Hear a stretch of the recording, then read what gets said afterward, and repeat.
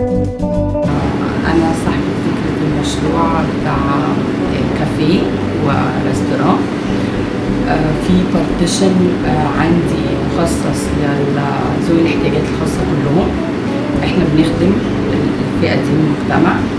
آه، من ضمن فريق العمل اللي عندنا شباب من صحاب متلازمة داون.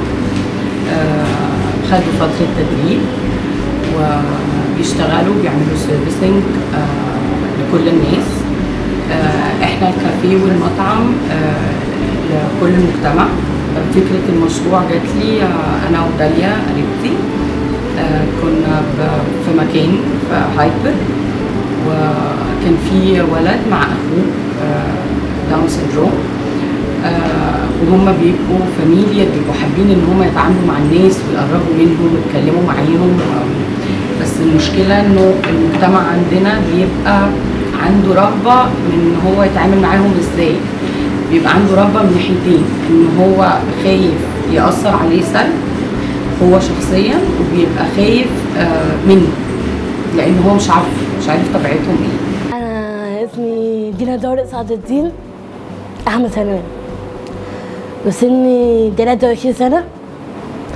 وأنا بشتغل هنا في كافيه؟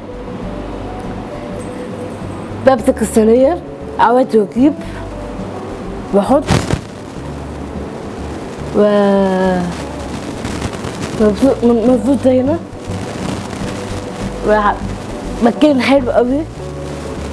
و- وشيك طبعا. سافرت سوريا أمريكا وأبو ظبي وأيطاليا.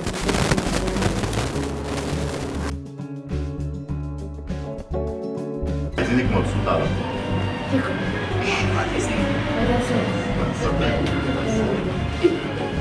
انا ايه؟ اهو ايه؟ ميه قشطه يلا كريم